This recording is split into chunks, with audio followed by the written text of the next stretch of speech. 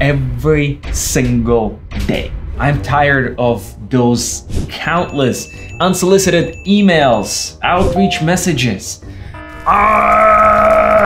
It's time to build an AI automation that will keep my inbox pristinely clean once and for all. And I gotta be honest, when I built this automation, it completely blew my mind. I tried to solve this problem for years now, and I kid you not, until I discovered the AI solution. First, I created some sophisticated filters inside Gmail that will find a keyword unsubscribe and automatically archive new emails but 15 to 20% of emails still trickled through, and that's hundreds and sometimes thousands of emails. I also tried services such as Unroll.Me to automatically unsubscribe from all newsletters, and guess what? They sold user data. But the one thing I was never able to beat is how to filter out those cold outreach messages. And I get a lot of them, especially when I do product launches. So I just mark them as spam every single time, hundreds every month and thousands every year.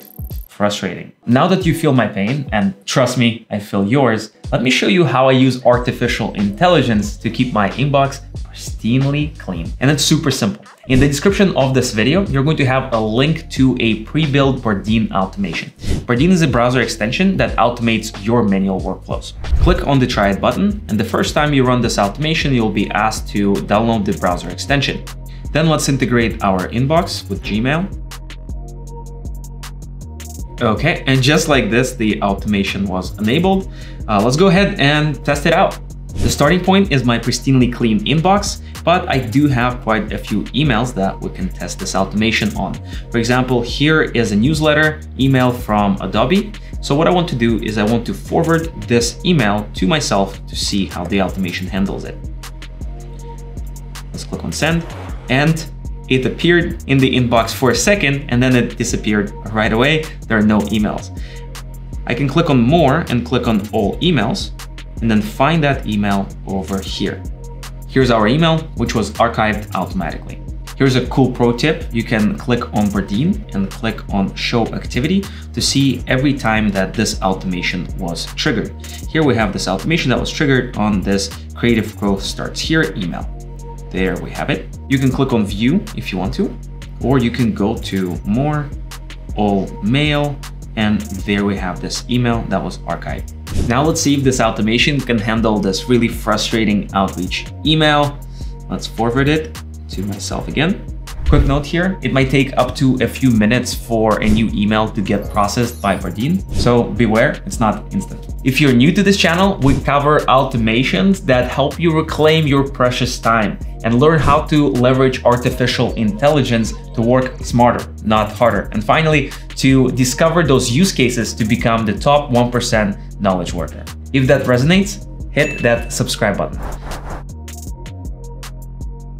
Let me show you what's inside the automation that we've just run. Let's open up Bardeen and here we have open in the builder. I'm going to show you every single action that is a part of this automation. Here we have when an email is received. So when we have a new email, then this automation gets triggered. Then we're using OpenAI classification action that will process the body of this email. And then we're going to figure out what type of email is this. And here I provided three different options. It can be a cold outreach email, it can be a newsletter email, or it can be something else. I gave OpenAI a little bit of context about what text it's looking at. So we're classifying an email body and we're using GPT-4 model. Let's click on done. Up next, we have this conditional statement that is going to check if the class that is outputted by OpenAI does not contain other categories. So this means that it has to be either a newsletter or cold outreach click on done. And here we have two branches. So if that condition is true, if it is in fact not other, then we're going to archive the email that was just received. And now let me show you how to build your very own custom AI automation for your inbox entirely from scratch. Learning this will unlock their real superpowers because you'll be able to do things like sending custom notifications, in apps like Slack, or even automatically categorizing your invoices and adding the information into a spreadsheet, and so much more. For this build, I'm going to create an automation that will automatically apply a label to a given email. For example, this can be an invoice, a support email, or an internal company email. Let's go ahead and build it. The first thing that I want to do is create a label that will later apply to a given email. You can do it directly from Gmail, click on the plus icon and create a label. In my case, I already have my labels created. Here I have cold outreach, customer support, invoices, and internal team emails. Now it's time to build the automation. Let me open up Bardeen Chrome extension, click on create. And the first action I will add is going to be a trigger from Gmail when an email is received. Let's click on done. Then I want to classify that email using OpenAI. Let me click on new action. Uh, by default, you will not see OpenAI show up over here. So click on this plus icon to integrate OpenAI. Let's click on OpenAI here. And if we scroll down, there we have get classification generated by OpenAI. Here we'll need to provide text that OpenAI will be processing. I have text being outputted from our trigger action. And then here I have a lot of different fields, body, subject line, etc. I'm going to pick the body of this email. And for the second argument, let's create a few classes. Uh, here I have the class name, internal emails, customer support, and let's add invoices. We can also add some description, such as these emails come from people who work at Bardeen.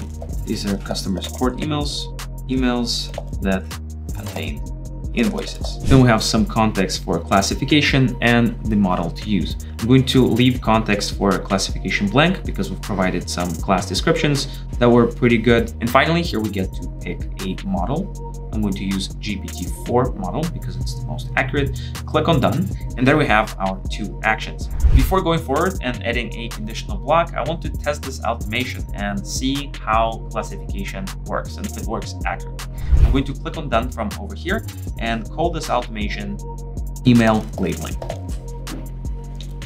Save, enable the automation just like this. Here I found the invoice email from Twitter. So what I'm going to do is I'm going to forward this email to myself to trigger the automation, click on send, and then open up Bardeen to see how it's going to classify it. Click on show activity.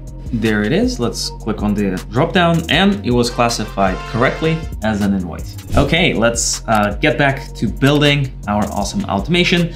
So I'm going to add a new conditional block over here. I'm going to say, hey, check the class. Output it by that action. Here we have the name of the class. We're going to check if it contains invoices and for this last part, if Bardeen is processing multiple emails at the same time, then I want each email to go to the respective branch. So I'm going to pick this variable. By the way, I have a dedicated tutorial on how to use conditionals. You can click on the card over there. Click on done. So if an email has a class invoice, then I want to add a label to that email, new action, find Gmail action, and here we have update email labels. The first argument asks, okay, which email do you want to process? We're going to process the email that comes from the trigger action. And then we're going to add a label you can add multiple labels, but for our use case, we're going to add label invoices. And just like this, I can click on done, but I do have two more labels in this automation. For example, I have this customer support label and internal emails. So let's use the no branch and I'm going to add another conditional block that's going to have the exact same setup. And let's type customer support this time. Okay, there we have it. I'm going to click on done and add another label using the Gmail action, trigger email, customer support. There we have it. Let me click on done. You can do the exact same thing for your internal emails if you want to.